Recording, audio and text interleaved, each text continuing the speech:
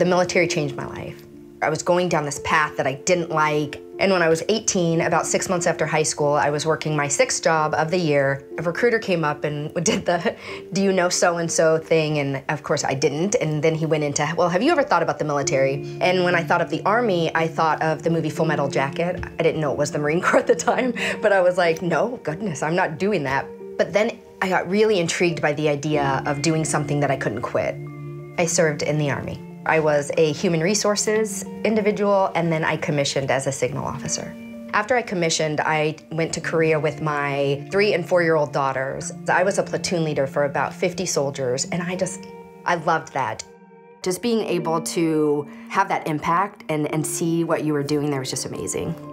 For a lot of people in the military, especially women, we do face adversity. I was a captain in a CAV unit, and I worked for an infantry major he made my life pretty miserable. It was one of those situations where I couldn't do anything right, and he would swear at me and yell at me and put me down and all of those things, and it was making me physically ill. And I didn't want to be that woman. You know, I didn't want to rock the boat. I didn't want to be any of that. I finally got to a place where I got my courage, used my voice, and said, "This isn't this isn't working for me." And he gave me the, "Oh, Lorrena, I'm so sorry. I'm just not good at working with females." And I took that and I was like, okay, you know, we're gonna do better. We had that talk and then it just continued after that.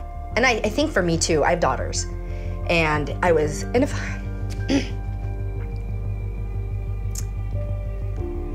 I want them to know, like, my job is to set an example for them. And granted, they can see me, they didn't know what was going on, but I'm like, you know, how am I teaching you not to let people do this to you? And here I am just taking this. And so I learned a valuable lesson in that. I learned, you know, I will never tolerate somebody treating me like that again. So it was a, it, in a way, in a weird way, it was a gift.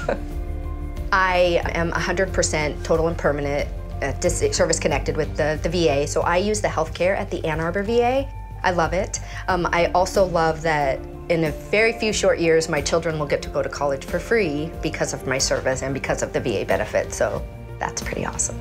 For those individuals that aren't using their benefits currently, I would tell them, use them. If you raise your hand and you serve in any capacity, I believe that you deserve benefits and you've earned them and you should use them. So don't ever think, I didn't do enough, I didn't do this, I didn't do that.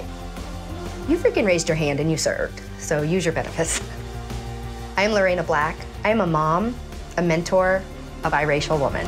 I served, I am a veteran, and I earned these benefits.